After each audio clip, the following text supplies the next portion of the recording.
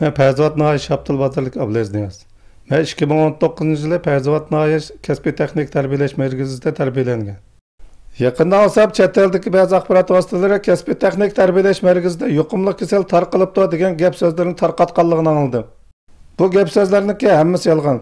Кәсби техник тәрбиелеш мәркәзендә курсатлар 2019 жыл аллы белән укыш битиреп булган. Мен кәсби техник тәрбиелеш мәркәзендә тәрбияләп аткан вакытымда o'qituvchi ustozlar bizga qo'l yuvish cho'tkilash yuvinish qatorliq yaxshi turmush odatlarini yetildirish to'g'risida tarbiya qiladi kasbiy texnik tarbiyalash markazi bizning davolanishimiz uchun davolash uyi tasdiq qilgan bo'lib har vaqt bizning salomatligimizga ko'ngil bo'ladi bizning noyi va kantimizda hozirgacha yangi tiplik tojisma o'pka yollag'ular yuqumlanganlar yo'q.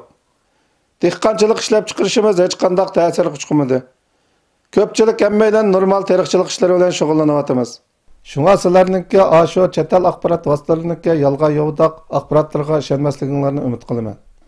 我叫阿布力扎提，是和田县人。以前我在教培中心学习过，在这段时间，我听说国外媒体说教培中心里面有暴发疫情，这都是谣言，是胡说八道的。以前我在学习的时候，那里有很好的医疗保障，并且学习了很多健康知识。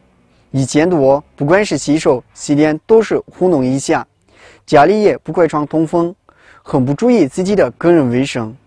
自从学习了那些健康知识后，我养成了很好的卫生习惯。我督促家人一定要吃饭前要洗手，经常开窗通风，要注重自己的个人卫生。特别是这次疫情防控中，乡里、村里给我们宣传了疫情防控知识。还给我们免费发放口罩、消毒液等物资。我和家人自我防护很到位，很安全，很健康。我们乡我们村一个病人都没有。